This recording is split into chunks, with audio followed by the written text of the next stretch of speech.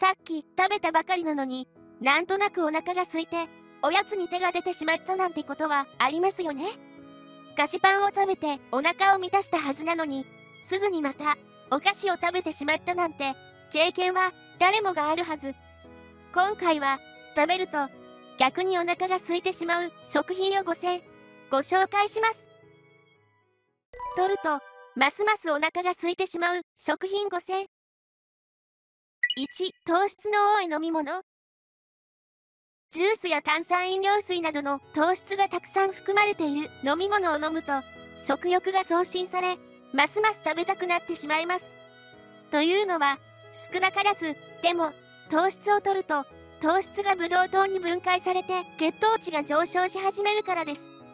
血糖値の上昇により、満腹感を覚えて、一時は食欲が満たされますが、しばらくすると、上昇した血糖値は低下し始めます。それに対して、体は体内のエネルギーが不足したと感じ、食欲という信号を発してエネルギー補給を促すために、食欲が増すのです。特に、糖質の多いものは、その傾向が顕著ですので、なるべく控えましょう。最近では、健康食として、スムージーやフルーツジュースも流行っていますが、市販のものは、砂糖が大量に使用されていることが多いので、注意しましょう。2、塩味のお菓子、塩辛いもの塩味のお菓子や塩辛いものを食べた後に甘いものが欲しくなることはありますよね。そこで糖質を含むものを飲食してしまうと先ほどの説明通り血糖値が上昇しやがて空腹感に襲われるので特にダイエット中はスナック菓子は控えましょう。またポテチなどの脂肪分の多いものを食べると腸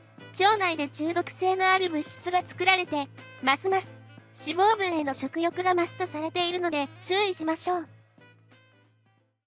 アルコール。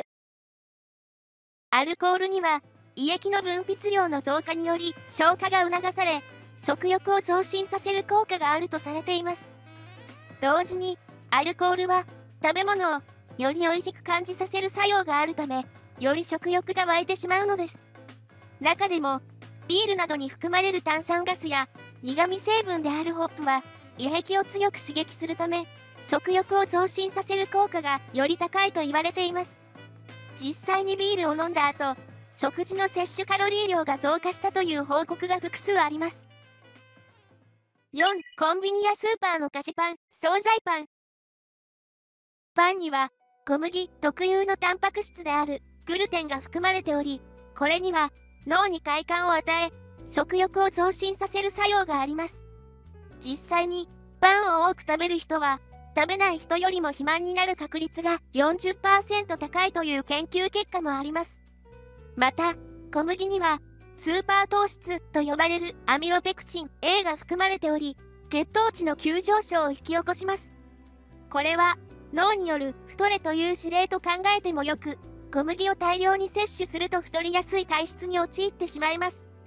さらに、老化の原因である糖化も促されるので、パンの食べ過ぎには注意が必要です。5. 市販のシリアル、グラノーラバー。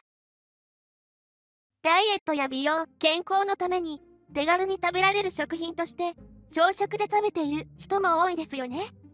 実は、これらのシリアルには大量の砂糖が使われており、砂糖でできた炭水化物、糖質のようなものなのです。ですので、食べると余計にお腹が空くこともあるので、食べる際は完全オーガニックのもので甘くないものを選ぶといいでしょう。